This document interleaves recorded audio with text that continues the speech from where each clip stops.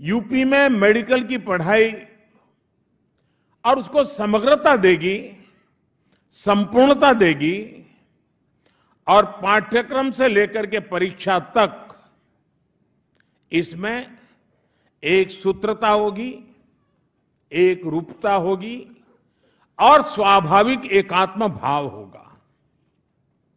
Medical college हो, dental college हो, paramedical college हो, नर्सिंग हो, चिकित्सा से जुड़े हर कोर्स, हर डिग्री को देखकर और इसी की देखरेख में ये विश्वविद्यालय इस सारी व्यवस्थाओं को, विधाओं को आगे बढ़ाएगी। सरकारी हो अर्ध सरकारी हो या निजी मेडिकल संस्थान हो, सभी की एफिलिएशन इसी यूनिवर्सिटी से अब होने वाली है। एक समान शैक्षणिक सत्र कैलेंडर लागू होगा, परीक्षाएँ तय समय पर होगी, पारदर्शी तरीके से होगी। इस यूनिवर्सिटी के बनने से यूपी में मेडिकल की पढ़ाई की क्वालिटी में और भी सुधार की तमाम योजनाओं को देखेंगे तो वो इसी राह से गुजरती हैं, इसी मैप पर आगे बढ़ती है। साथियों, बीमारी पर होने वाले खर्च को बचाने का सबसे आसान तरीका है कि बीमार होने से ही बचा जाए। यही प्रिवेंटिव हेल्थ केयर है। और इसके लिए जितना ज़्यादा प्रमाण में हम लोगों को जागरूक करेंगे, जागरूकता होगी, जितना ज़्यादा सामान्य मानवीय इसे लेकर गंभीर होंगे, उतना ही उनमें इम्यूनिटी बढ़ेगी, शरीर स्वस्थ होगा। स्वच्छ भारत एक प्रकार से अगर प्रिवेंटिव हेल्थ केयर का बड़ा अभियान है तो योग भी प्रिवेंटिव हेल्थ केयर के लिए ज़ीरो कॉस्ट हेल्थ केयर है। उज्ज्वला योजना से, धुएँ से माताओं को मुक्ति दिलाना, ये भी प्रिवेंटिव हेल्थ केयर का काम है। तो दूसरी तरफ़, देश के हर नागरिक को फिट इंडिया मूवमेंट का हिस्सा बना करके उसको भी फिट रहने के लिए प्रेरित करना। इसके साथ साथ आयुर्वेद को बढ़ावा देना, क्योंकि आजकल होलिस्टिक हेल्थ केयर की मांग बढ़ती चली जा रही है। हर कोई साइड इफ़ेक्ट से बचना चाहता है, और उसमें आयुष, आयुर्वेद, ये बहुत बड़ी भूमिका अदा कर सकते हैं। तो ऐसे हर पहल बीमारियों की रोकथाम में अपना अहम योगदान दे रही है। प्रिवेंटिव हेल्थ केयर के लिए हम जितना बल दें, उतना हेल्थ सेक्टर के लिए हमारी चिंताएँ कम होती जाती है। एक तरफ़ जहाँ इससे कम्युनिकेबल डिसीज की रोकथाम में मदद मिल रही है, वहीं दूसरी तरफ़ जीवन शैली के कारण जो बीमारियाँ आती हैं, उन बीमारियों को दूर करने में भी ये कारगर साबित हो रही है। हेल्थ केयर के दूसरे आयाम, यानी एफोर्डेबिलिटी को बढ़ाने, बढ़ाना देने के लिए, इसके लिए भी सरकार द्वारा कई ऐतिहासिक कदम उठाए गए हैं। आयुष्मान भारत के कारण देश के करीब 70 लाख गरीब मरीजों का मुफ़्त इलाज हो चुका है। यह आयुष्मान भारत योजना दुनिया की सबसे बड़ी योजना है।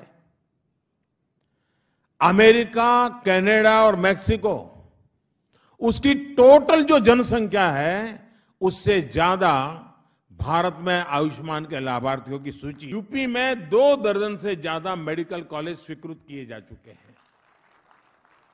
जिसमें से अनेक या तो शुरू हो चुके हैं या फिर निर्माण की प्रक्रिया में है। साथियों, सरकार द्वारा महिलाओं और बच्चों के स्वास्थ्य को बेहतर बनाने के लिए मिशन मोड में राष्ट्रीय पोषण अभियान समेत अनेक नए कार्यक्रम चलाए जा रहे हैं।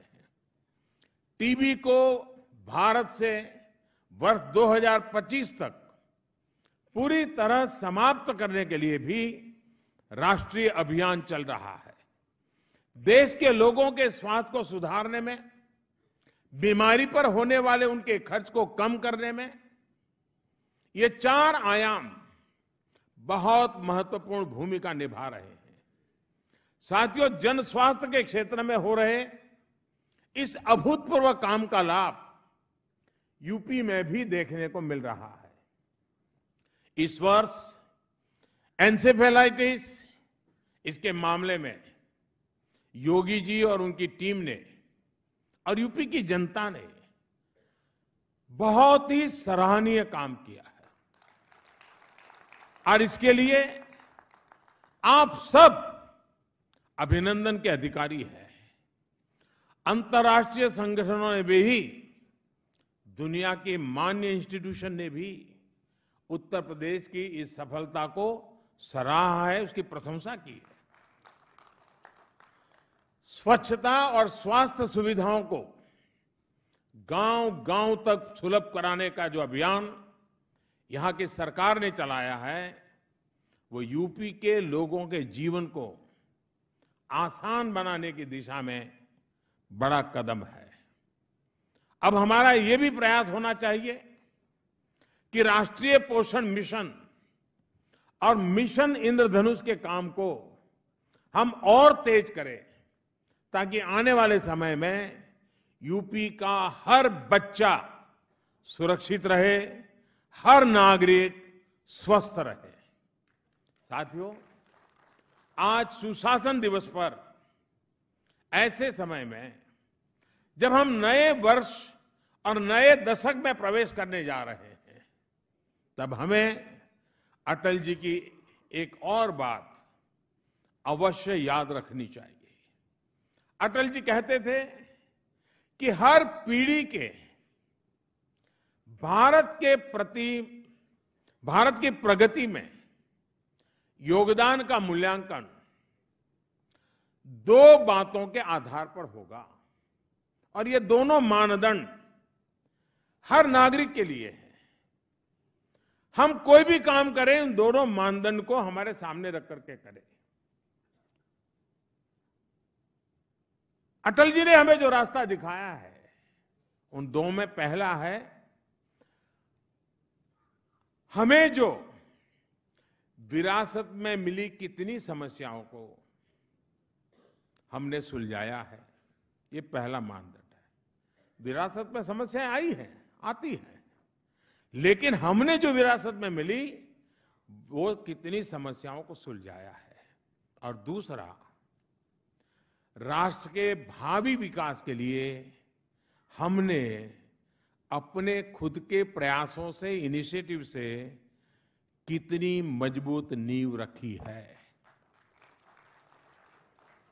साथियों, इन दोनों सवालों के आलोक में आज हम कह सकते हैं कि 2020 के साल में भारत अभूतपूर्व उपलब्धियों के साथ प्रवेश कर रहा है।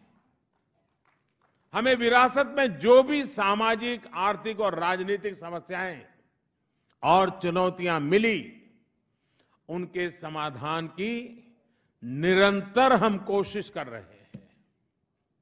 देश और दुनिया से जुड़ी सभी प्रमुख खबरों के लिए हमारे चैनल को सब्सक्राइब करें और लेटेस्ट वीडियो पाने के लिए बेल आइकन को ज़रूर दबाएँ। साथ ही हमारे वीडियो को लाइक और शेयर करना ना भूलें